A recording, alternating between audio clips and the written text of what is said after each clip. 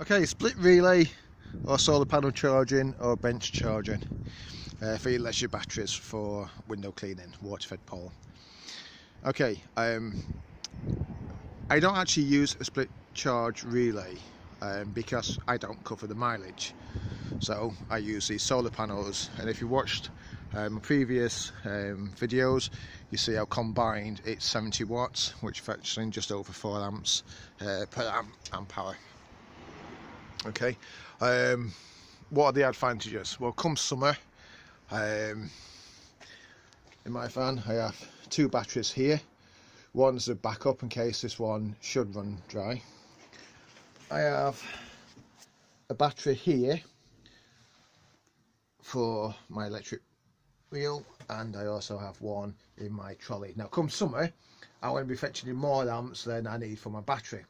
So therefore I can connect either my batteries and charge them up while I'm driving around or whilst I'm working. So the advantage of a solar panel is if my battery is flat I don't need to run my engine and the chance of someone stealing it. Instead I can go for my lunch, park up in the sun and get some charge coming through. It's winter so we've got low light, low sun so it's not brilliant admittedly. So during winter at the moment I've been bench charging my batteries about once a week. But it's now the weekend it's Friday I've got a day off work okay so I parked in the sun. So that's the main advantage or the second advantage of a solar panel. If you're not working it can still top up your battery. Okay so looking at this so far today where is it I've had 3.8 amp hours um, put in. So nearly 4 amps have gone into my battery. Okay I'm currently at 12.9 volts as well. So it's um, keeping it nice and healthy. And that's why I'm not working. So free electricity free topping up my battery.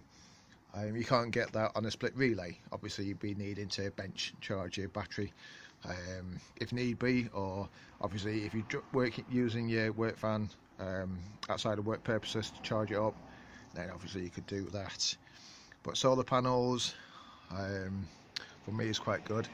The MPPT controller comes summer that will be uh, a godsend because basically what that will do is it will regulate the charge coming through to my battery. It will pull it down to the same voltage required for my battery 13 volts the over voltage like comes as I said I've got combined wattage of 70 watts. What this will do is convert those over uh, volts over 13 volts turn them into amps and feeding my battery with more amp supplyage at the moment it's not a lot of sun so therefore I'm not actually um, getting 13 volts at the best uh, when I'm working. So I've bypassed the that. All this is simply doing is I can keep check of what amps I've got coming in. Um, that's the main purpose for that. But yeah so um, in short solar panels can be used to top up my battery during the course of working days especially in summer.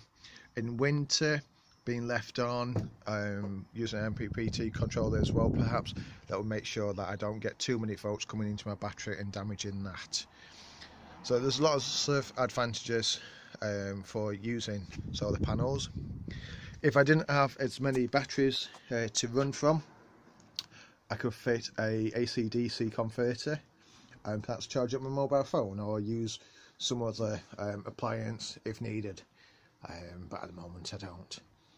So um, can't really compare it to a split relay apart from you've heard stories of people using split relays uh, running the short on the battery so having to run the fans while they're working. And uh, there's been a couple of reports of people losing the fans that way. Um, I'm sure there's more advantages to it than that. I don't use one like I said so it's not a fair comment to make. But the solar panels are an advantage